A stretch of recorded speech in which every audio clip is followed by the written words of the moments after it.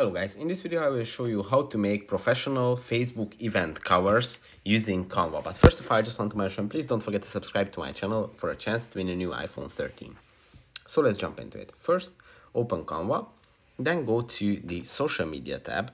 And here at the social media tab, you will see three different sections, popular, Instagram, and Facebook. Now you should go to Facebook because now we are creating a Facebook event cover.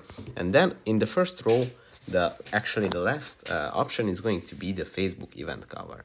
Now tap on it, and when you open it, it's going to Canva is going to open up a page, a design page, which already has the right ratio and type for a Facebook event cover.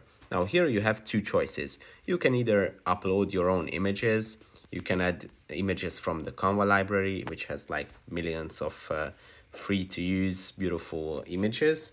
You can add text or any design elements but you can also use the Canva templates which I recommend because these templates are uh, created by professional designers uh, made especially for events they have all the different uh, themes and topics for any different kinds of events so I would recommend using these and to use one of these templates, you just have to uh, look in the library. If you find something that is uh, similar to, to your topic, it, it, it doesn't have to be like exactly what that because you can uh, customize it afterwards.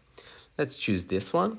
And then after you have chosen the template, you can go and customize it. You can change the title, you can type in anything that you want, you can change the name, you can change the pictures, and the names here, the details and everything. It is very easy to customize and uh, most of these uh, templates look beautiful just like this for a brainstorming event, for Halloween celebration, poker night, like concert night.